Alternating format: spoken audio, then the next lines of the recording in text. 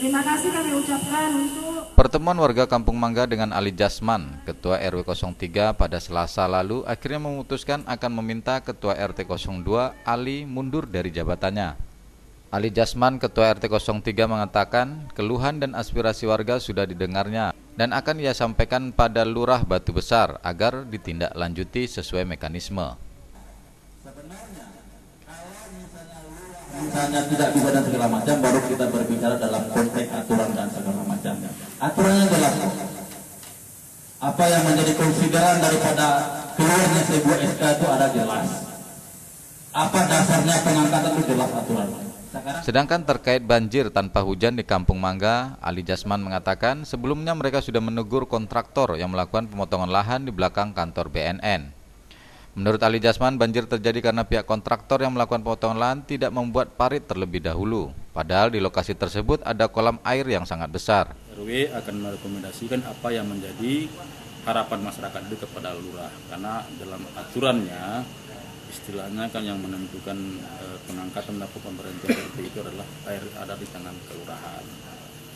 Sebenarnya dari awal kemarin sudah ada masuk surat-surat dari warga ini kepada lurah kalau nggak salah saya kemarin itu seperti yang disampaikan ada sekitar 98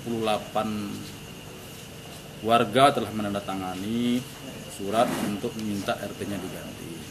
Namun beberapa kali pertemuan eh, antara kelompok masyarakat yang mewakili masyarakat yang menandatangani itu ternyata Pak Lurahnya yang memberikan janji-janji yang tidak ada keputusan ya salah satu janjinya kemarin saya dengar dari bapak yang ketemu dengan lurah itu baik di rumahnya maupun pertemuan di hutannya bahwasan dia akan mengeluarkan surat nonaktif terhadap RT dan untuk sementara sebagai pejabat pelaksana tugas RT akan diserahkan kepada RW. Ternyata sampai hari ini apa yang menjadi harapan masyarakat itu tidak dilaksanakan, tidak terlaksana. Nah inilah yang menyebabkan terjadi kekecewaan masyarakat. Di samping persoalan-persoalan yang terjadi hari ini, ya masyarakat kita di RT 02 mengalami kebanjiran. Padahal itu hari musim panas, bukan hujan.